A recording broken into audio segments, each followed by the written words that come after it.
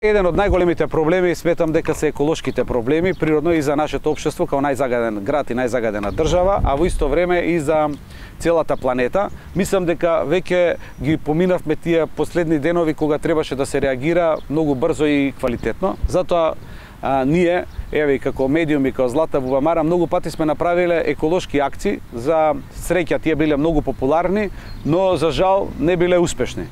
А, сметам дека сите а, наши акции што биле дали за стоп за сечење на шумите, дали за подигање на свеста на екологијата, а, се врзани со централната и со локалната власт, која, за жал, се уште нема прави механизми за ефикасно да одговори на овие проблеми. Потребно едно заедничко обединување во еколошки народен фронт, каде што ќе се обединат сите овие добри луѓе и невладени организации, компании и слично, што смета дека е, треба да се преземат многу радикални мерки, многу јасни и цврсти мерки за е, подобрување на еколошката состојба како во Македонија, така и на планетава, да се направи а, закон и изгласан од 60 луѓе во парламентот, а, каде што ќе се забрани сечење на шумите.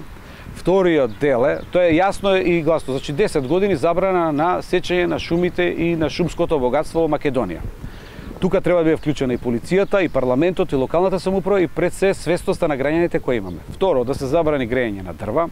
Трета работа, што е исто така важна, е менување на законот за урбанизам, каде што во најзагаданиот град во светот, Скопје, а ќе се забрани градење на згради повисоки од 2 до 3 спрата, значи да има мораториум на изградба згради. Ако сакаме да имаме чист воздух, посадете дрво, Ако сакаме да слушаме песната на птиците, посадете дрво. Ако сакаме да се спасиме од ерозија и поплави, повторно треба да ги чуваме шумите и да посадиме дрво.